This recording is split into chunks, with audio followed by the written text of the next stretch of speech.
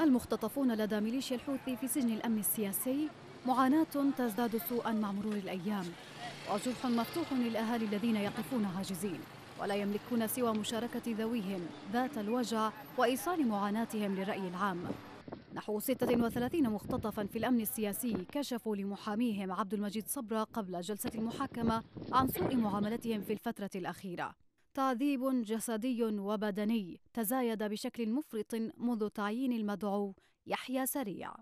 بدأت جلسة المحكمة وكل هم المختطفين هو الحديث عن المعاملة المهينة داخل السجن التي قالوا إنها تنتهك كرامتهم. ضرب مستمر وتقييد بالسلاسل ومصادرة كل ملابسهم الخاصة حتى الداخلية منها. باستثناء بدلة السجن منع عنهم الأكل الذي كان يأتيهم من أقاربهم. ومنعت الأدوية عن المرضى منهم.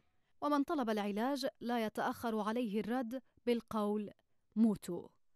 محكمة ميليشيا الحوثي المتخفية بثوب العدالة لم تتفاعل مع شكاوى المعتقلين ومناشداتهم ولم تلامس قلب العدالة المزيف فتوجهوا بكلامهم إلى الحاضرين في القاعة. طالب المعتقلون في قاعة المحكمة إيصال معاناتهم لكل ضمير حي ولكل المنظمات الحقوقية والإنسانية الدولية والمحلية. للعمل على رفع معاناتهم وطالبوا بالتحقيق الفوري مع المدعو يحيى سريع وكل المشاركين معه فيما يتعرضون له. المعاملة السيئة لم تقتصر على المعتقلين الذين تجري محاكمتهم فحسب بل شملت كل معتقلي الأمن السياسي.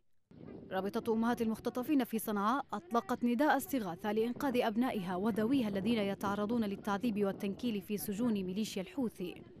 وأوضحت الرابطة في بلاغ صحفي أنه منذ أسبوعين وعشرات المختطفين المدنيين يتعرضون للتعذيب الجسدي والنفسي في سجن الأمن السياسي بصنعاء.